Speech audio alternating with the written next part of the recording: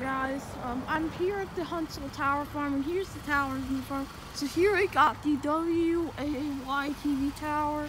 It has box strobes, FH307s, as you can see.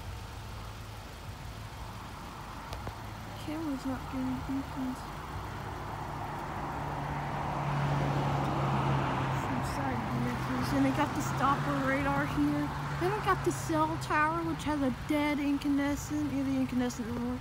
And here's the WATT tower. There's, then yeah, I got modern LEDs. It used to have old school incandescents.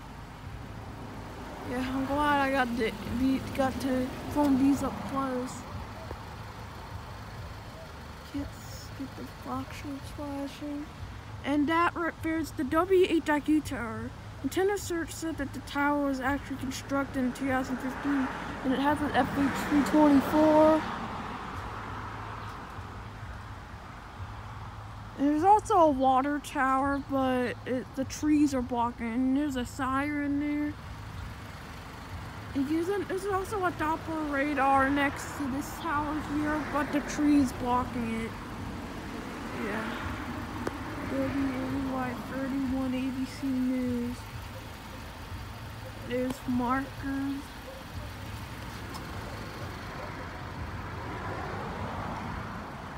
I believe this tower either has an old school LED, a FE26 or an FE324 on top. Most likely an FE324. The Doppler radar doesn't have anything. The cell tower dead incandescent and incandescent. And that has not been used.